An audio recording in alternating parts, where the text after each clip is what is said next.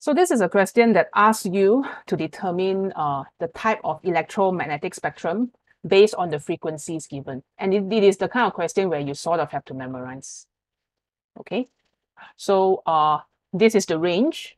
It's also available in all physics textbooks. You can easily Google, but uh, it is kind of, it's the kind of question where if you commit to memorizing, you will get one mark. If you don't commit to memorizing, it's okay. It's just a mark. You can get the marks elsewhere. All right. So let's look at this one. It says here that the frequency is 30 terahertz. So I probably need to change this into standard form. So 30 tera. Tera here is 10 to the power of 12 hertz. So you could easily go like mega, giga, terabyte. Those of you who do computers. So we always level up in terms of 12. So 6, 9, and 12. So this one is actually 3.0 times 10 to the power 13 hertz. So where is 10 to the power of 13? Here, lor.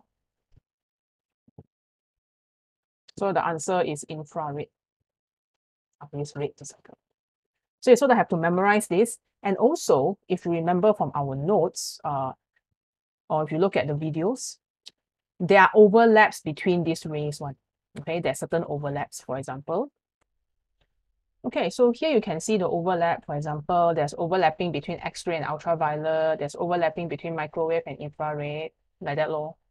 Do you memorize? Uh? Sure. If I mean, if your brain can memorize, that's great. But I feel that there are other more important physics skills like calculation, drawing waves, sketching graphs.